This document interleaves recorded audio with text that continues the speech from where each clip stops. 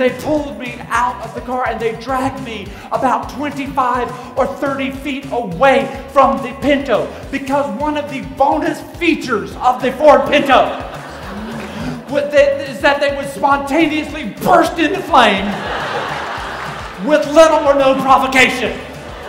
Strong wind.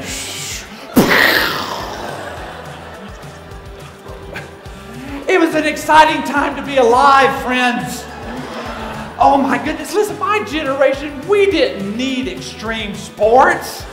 We didn't need to parachute off of buildings or bungee jump. We drove Pintos.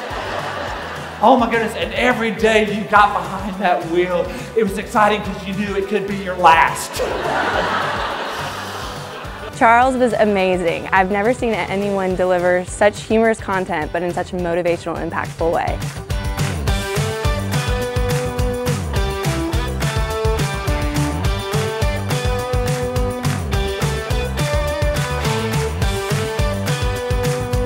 You're steering your career your relationships, your finances toward fulfilling your potential or away from fulfilling your potential. Charles was excellent. His presentation was wonderful. He was engaging, he was funny, and our whole organization uh, loved every minute of his presentation.